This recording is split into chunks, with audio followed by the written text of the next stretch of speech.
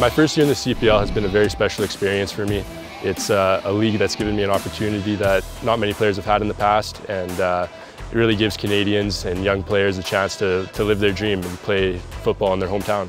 The players that have come into the league out of the U Sports draft have shown they belong here. I've been absolutely impressed with the quality of players and everyone shows that they can play at this level.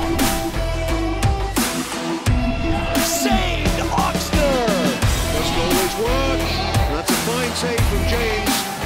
The CPL U Sports draft gave me a shot and I took it. What was once a dream is now an opportunity. Hard work and determination have brought you to this point. Now, it's your chance.